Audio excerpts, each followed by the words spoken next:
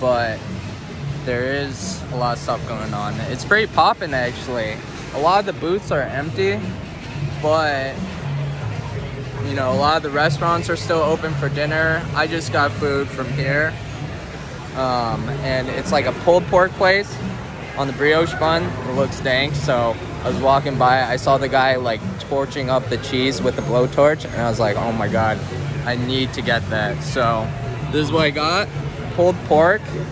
Um, you know, great, very generous with the pulled pork, and uh, we got an IPA to go with it. So cheers to uh, first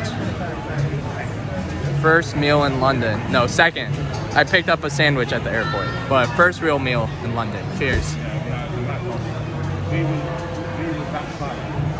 Uh, yeah, it's super nice. So when I was walking here, I saw like a bunch of people just like out on the street drinking. Let me put this down too, actually. Uh, they were just like drinking outside of like pubs, and I think that's like a big culture here in London. Like, you know, in New York, there's street side dining after COVID happened. I think in London, people have kind of been on the street side drinking vibe for, uh, you know, for however long, you know. Um, so it's actually pretty nice. I mean, it's a beautiful day outside today, which is which is nice, and uh, I think for the most part, while I'm in London, um, it's supposed to be pretty nice, so I'm pretty excited. Um, yeah, I don't really have any plans other than getting coffee and like lunch tomorrow with a couple friends. So, if anyone has any recs before Monday, I'm open to exploring.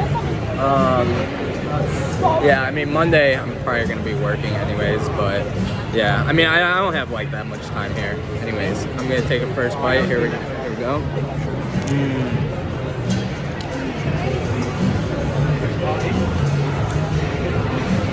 Mm. Wow. That's so good. So I got like hot sauce, crispy onions, and um, jal- oh my god, jalapenos. Um, the cheese was extra, which is surprising. I don't know if maybe London is short on cheese, but the cheese was extra. Overall, price still cheaper than most things in New York. It was uh, 10 pounds for the burger plus cheese, um, which is what? That's like $12.50, I think, around there. Um, which is I. It's pretty good. I mean, I feel like $12, I don't know. You could probably get actually a pretty comparable burger in New York, but maybe it'd be a little tougher to find, I feel like. And this is like, this just looks really good, so. Yeah, I was hoping to go to the night market, but I don't think it's open right now. I think I missed that by a day. Um, apparently, it's open on Fridays, but this is a market nonetheless, and uh, it's pretty nice. So, Get that thing out of your hand. Oh, right. Well, that red one you can out.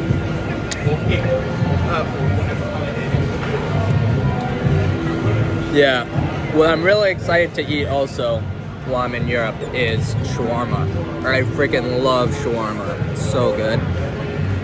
I mean, I just love like meat wrapped in carbs, you know? Tacos. I love tacos. Burrito. Um, shawarma. Greek gyros. I mean, they're all kind of like similar, I feel like. Especially Mexican food. I feel like Mexican food is like the same ingredients, like just done different ways. But anyways, I I mean like anything like that. So good. So looking forward to some shawarma when, when we go to uh, when we go to Germany too.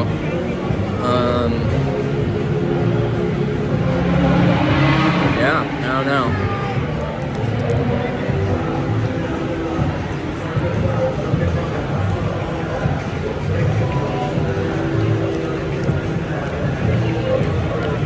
Yeah, a lot of pulled pork. Really good.